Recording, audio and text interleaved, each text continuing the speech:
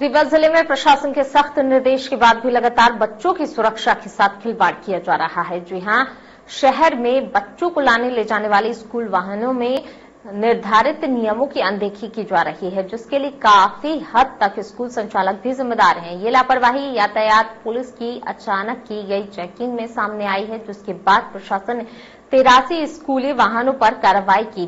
बता दें कि जिला प्रशासन ने स्कूली वाहनों को बच्चों की सुरक्षा को लेकर गाइडलाइन जारी की है, जिसमें सभी स्कूल संचालकों को आवश्यकता अनुसार इंतज़ाम सुनिश्चित करवाने के निर्देश दिए गए थे। निश्चित अवधि समाप्त होने के बाद पुलिस अधीक्षक नवनीता भसीन ने भी सभी वाहनों में जमीनी हकीकत पता लगाने के लिए अचानक चेकिंग के निर्देश दिए गए। वहीं यातायात पुलिस की अलग अलग टीम ने कई जगहों पर स्कूली वाहनों को पकड़ा तो मनमानी देखकर खुद पुलिस हैरान रह गई। इतना ही नहीं, CCTV camera, first aid box, अग्निशामक यंत्र, आपातकालीन द्वार सहित तमाम सुविधाएँ स्कूल वाहनों से गायब थीं।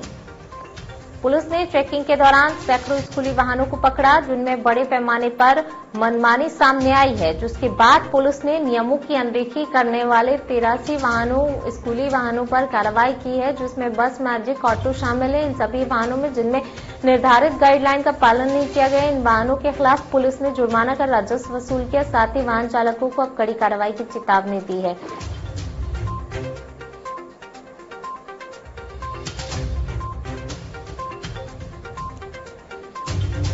कि आपने देखा, हम लोगों ने लगातार स्कूल बसेस पे और वैन पे कार्रवाई का अभियान प्रारंभ कर रखा है।